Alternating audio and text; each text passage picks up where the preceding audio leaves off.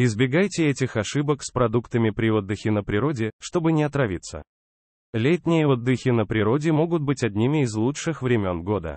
Однако жара приводит к быстрой порче еды и отравлению.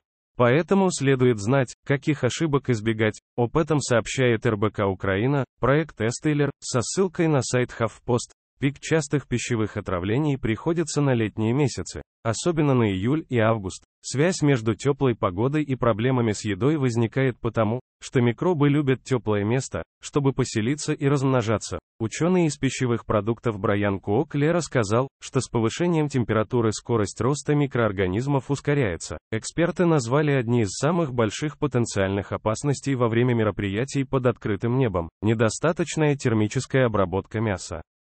Такие бактерии, как сальмонелла, вызывающие наибольшие проблемы пищевого происхождения, как правило, связаны с сырым мясом и птицей. Лучший способ предотвратить заболевание – убедиться, что все ваше мясо нагрето до нужной температуры. Когда вы готовите на гриле, держите рядом термометр. Цвет и текстура не являются надежными показателями безопасности или готовности пищевых продуктов.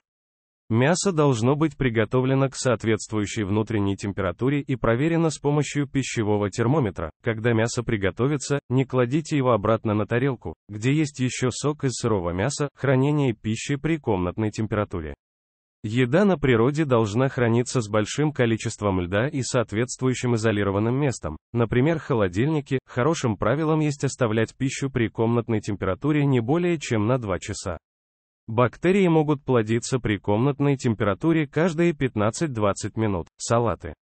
Салаты, содержащие яйца, вызывают беспокойство, поскольку они могут быть заражены бактериями салмонелла и вызвать серьезные заболевания. Бактерии в первую очередь начинают размножаться на яйцах, картофеле и макаронах, если вы приготовили салаты, в состав которых входят эти ингредиенты, до подачи на стол, держите их в холодильнике или термосумке.